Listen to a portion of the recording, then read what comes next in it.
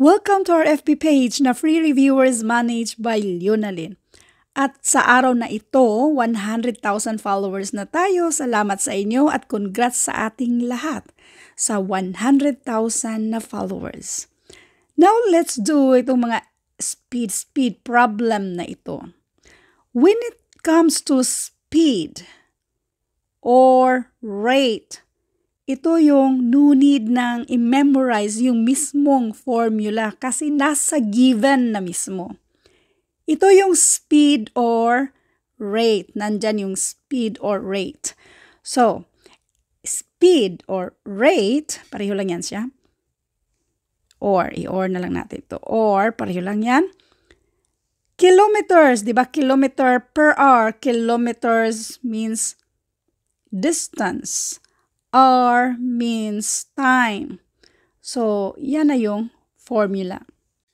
Pero bago ang lahat, ito ay random post dito sa ating FB group na Philippine Civil Service Review for All, isa sa mga FB groups na lagi nating tinatambayan. Mas magandang mag-post kayo or rather than mag-send kayo ng mga messages or private messages sa FB page natin para sa sagutan yung mga tanong ninyo, mas magandang mag-post na lang kayo sa FB group kasi marami din tayong mga FB members na haping sagutan yung mga tanong ninyo. Katulad nila Donald Bayotaron kung saan ito sila si Joaquin, tama ba itong pagka-pronounce ko? Dito, Joaquin Lito, Mendoza, Bandong, ito sila yung mga math wizards sa ating FB group. Sila yung laging sumasagot, happing sagutan yung mga tanong ninyo, lalong-lalo na sa mathematics. Now, sa video ito, bigyan ko kayo ng dalawang solutions. Itong pinakita nila, yan yung i-explain natin kung paano ba ginawa yung mga solusyon nila. Let's read the problem.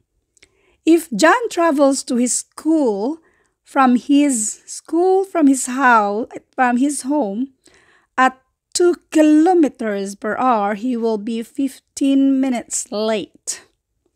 If he travels 5 kilometers per hour, so faster yan he will be 30 minutes early. Find the distance from his home to school.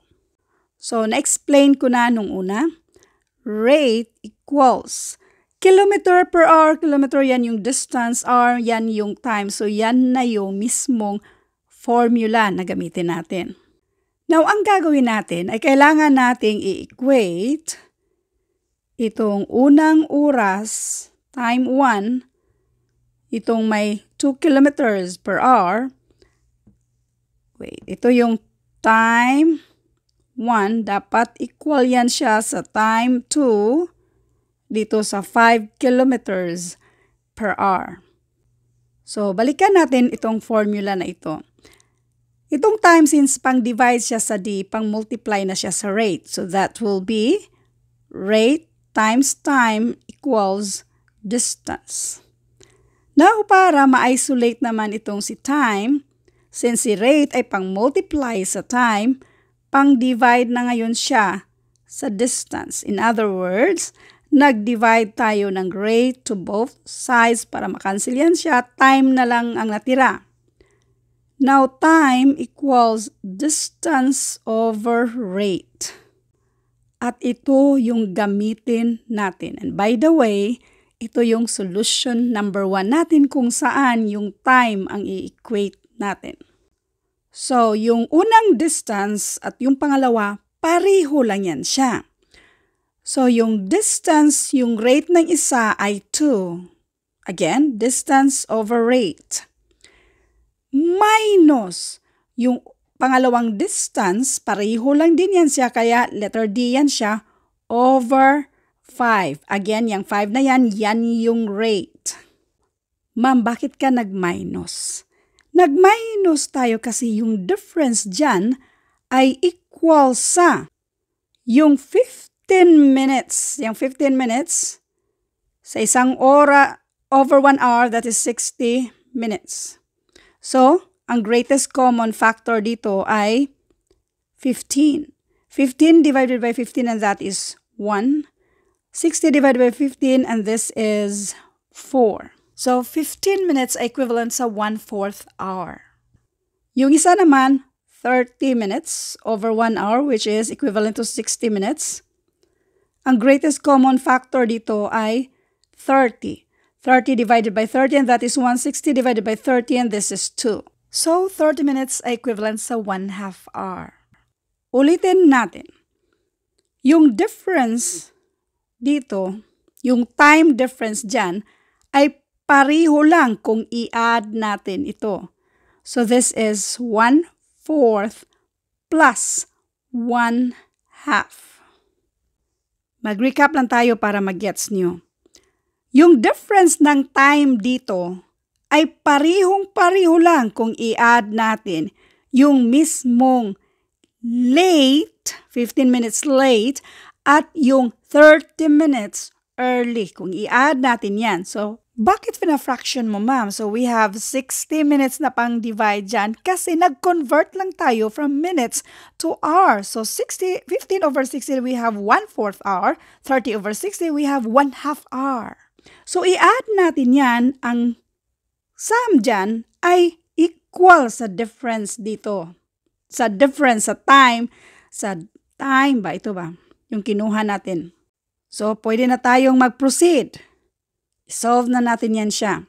So, para lang din tayong nag-add and subtract ng mga fractions na kailangan yung mga denominators ay pariho. So, ang least common denominator sa dalawa ay 10. So we have 10. 10 divided by 2, and that is 5. 5 times d, this is 5d. Next, 10 dito, 10 divided by 5, and that is 2. 2 times d, this is 2d. Yung sa kabila, ang denominator din dyan ay 8. So 8 divided by 4, 2. 2 times 1, and that is 2. 8 divided by 2, and that is 4. 4 times 1, and that is 4. Now, pwede na natin siyang isolve kasi pareho na yung denominator. Kopyahin lang yung denominator na 10.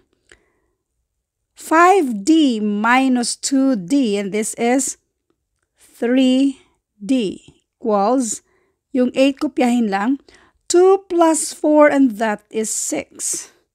Now, mas magandang i-list natin yan pero depende lang sa inyo pwedeng i-keep nyo yung 6 over 8. Pero mas gusto kong i-list yan by finding the greatest common factor which is 2.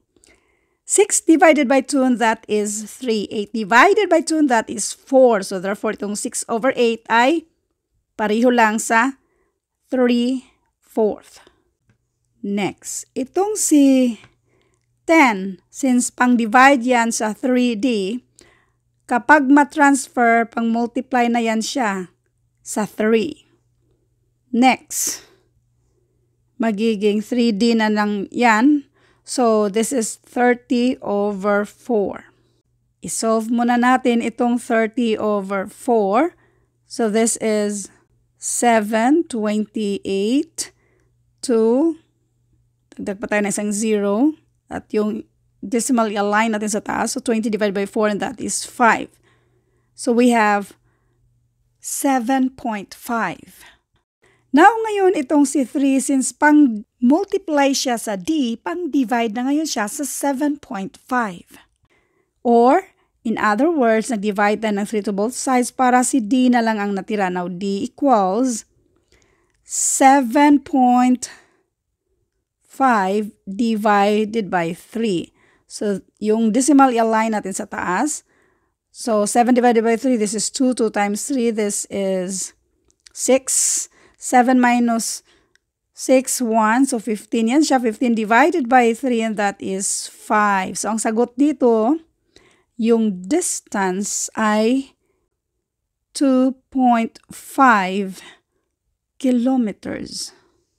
Now, another way of solving this, yung i-equate naman natin ay yung distance kasi pariho lang din naman yung distance. So, we have yung distance 1 ay equal lang yan siya sa distance 2. Again, yung rate equals distance over time. Now, para ma-isolate natin si distance, since si time ay pang divide dyan, pang multiply na siya sa rate. So, this is rate times time equals distance. Now, yung unang distance, we have 2 kilometers. Yung rate muna tayo. So, yung rate ay 2 kilometers. Yung mismong time, let t para sa time, pero ada natin yan ng 1-4. Saan galing yung 1-4? Remember, yung 15 minutes. 15 minutes sa loob ng isang oras. Isang oras is equal to 60 minutes. So, list natin yan by finding the greatest common factor which is 15. 15 divided by 15 and that is 160 divided, divided by 15 and that is 4. Kaya, i-add natin yung time by 4. Add natin siya kasi late yung time dyan. Kaya, i-add natin yan. Next, yan ay equal sa isa na 5 kilometers per hour. Yan yung rate. Again, i-multiply natin kasi yung rate times time equals distance. So ngayon yung time naman, let t para sa time, minus natin ng 1 half kasi masyado naman siyang advance, early. So 30 minutes over 60 minutes kasi kailangan natin siya i-convert. Kinonvert lang natin ng hour ba. So ang greatest common factor dyan ay 30. 30 divided by 30 and that is 160 divided by 30 and that is 2. So, 1 half hour. Minusan natin ng 1 half yung buong oras dyan sa kabila kasi early siya. So, pwede na natin siyang isolve. 2 times t, this is 2t plus 1 fourth of 2, or 2 times 1 fourth, and this is 1 half. 2 times 1 fourth. 2 times 2 over 4. Ang greatest common factor ay 2, so this is 1 half. Next, 5 times t, this is 5t. 5 times negative 1 half or half of 5 or kopyahin na lang natin ito. This is 5 over 2. Nag-multiply lang tayo ba? Okay? So, it lahat ng mga whole numbers, meron niyang automatic na 1 na denominator, multiplication, fraction lang tayo numerator to numerator, denominator to denominator. So, next, ipagsama natin yung mga like terms. So, nandito lang si 1 half. Itong minus 5 over 2, since pang minus siya, kapag matransfer, pang add na siya dito. Next, ikip lang si 5t. Ito namang si 2t 50 since positive yan siya kapag matransfer pang minus naman siya dito sa kabila. 2t. 5 minus 2t that is 3t. Kopyahin si 2 na denominator ang i-add natin yung numerator lang. 1 times 5 and that is 6. 6 divided by 2, this is equal to 3. Now, para ma-isolate natin yung time na yan, since si 3 ay pang-multiply dyan, pang-divide na siya sa kabila. In other words, nag-divide tayo ng 3 to both sides para makancel yan siya, t na lang ang natira. Now, t equals 3 divided by 3 and this is 1. Now, ngayon, ito yung time. So, pili ka na lang sa dalawa para sa distance. Pwedeng itong gamitin natin, pwede rin ito. So, we have 5. Ang t ay 1 ang value niyan. So, 1. 1 minus 1 half. Now, doon muna tayo sa loob ng parenthesis. 1 minus 1 half.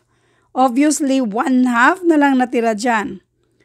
Now, 5 times 1 half, and this is exactly equal to 2.5. So, ang sagot, 2.5 kilometers. Isa pa, double check natin dito sa isa.